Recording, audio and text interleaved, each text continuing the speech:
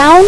वैशाखमा भगवान् शङ्करजीको प्रिय महिना साउनमा बेलपत्र चढाउने जल अर्पण गर्ने भगवान् शङ्करजीलाई खुसी बनाउने।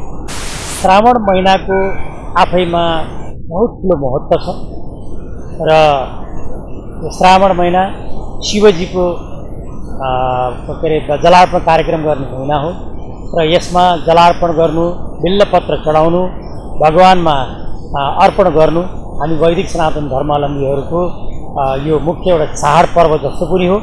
र यसमा यी पूजा अर्चना गर्दा मनमा शान्ति हुने घरमा शान्ति आउने धन धर्म धन धान्यले भरिपूर्ण हुने यस यही आस्था राख्दै धर्मावलम्बीहरू मठ मन्दिर आउने गर्दछन् र शिवालयमा जलार्पण कार्यक्रम गर्दछन्। साउन महिनामा अब शिवजी धेरै मान्ने गरिन्छ होइन?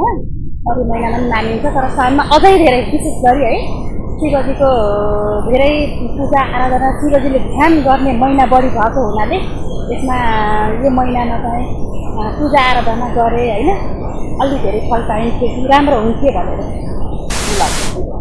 अब हाम्रो हिन्दू धर्मअनुसार अब साउन महिनामा जल चढाउने चाहिँ हामी महिलाहरूको श्रीमानको आयु बढाउने शिवजीलाई फुल बेलपत्र जल दुध चढाउने हुने एकदम धार्मिक अनुसार हामीले आस्था अनुसार अब सबै राम्रो हुने भएर त्यही श्रद्धा अनुसार हामी पनि त्यही गऱ्यौँ